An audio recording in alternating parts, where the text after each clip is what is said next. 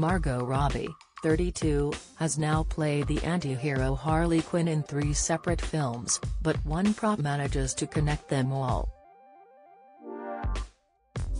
Harley's notorious weapon of choice, a baseball bat, now sits next to her bed as she told Express. Co.uk. Last month, Margot Robbie became one of the youngest actors honored through a BAFTA's Life in Pictures event. At the London event, Margot told Express. Co.uk and other outlets some of the behind-the-scenes highlights of her career, from Neighbours to Barbie and beyond. When asked if she had ever taken a prop or piece of memorabilia home with her, Margot didn't require a moment to think. She immediately responded with a chuckle, I have my Harley bat next to my bed in case anyone breaks in. The iconic Goodnight Bat, named after the writing on its side, was first wielded by Margot in 2016's Suicide Squad. She picked up the bat again to lead 2020's Birds of Prey while also producing the film and then finally in James Gunn's reimagining of Suicide Squad in 2021. The celebrated actress admitted she relishes playing Harley Quinn, although noted each time she does, the character sticks around a while longer than any others.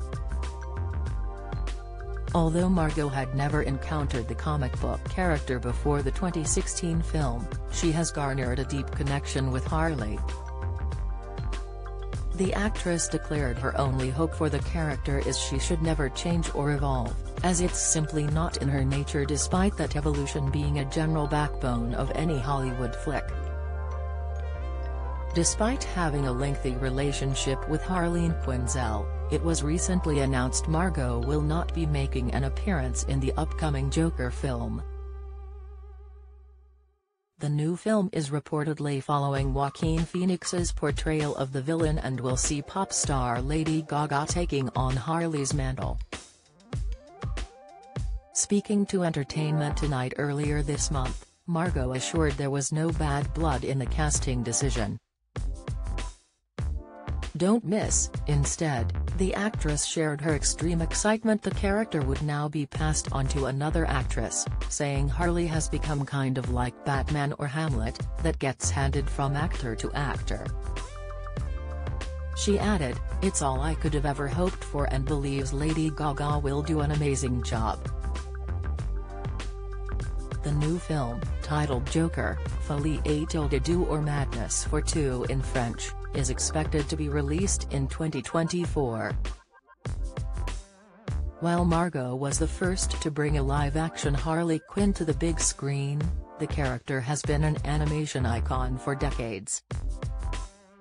Arlene Sorkin was the first to breathe life into the character in Batman, the animated series in 1992 and was followed by voice actress Tara Strong. Gillian Jacobs, Hynden Walch and The Big Bang Theory alum Kaley Cuoco and Melissa Rauch also had a moment to voice the character in a variety of animated films, series and video games. Alongside the Goodnight Bat, Margot revealed at the BAFTA event that she also still has some of the costumes and her ice skates from 2017's I, Tonya.